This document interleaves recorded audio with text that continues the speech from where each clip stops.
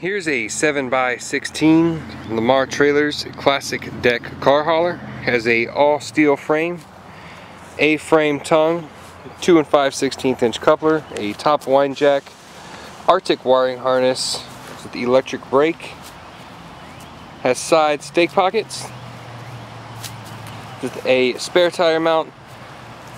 This has tandem 3,500 pound Dexter axles for a 7,000 pound GVWR, 15 inch radial tires, 15 inch wheels.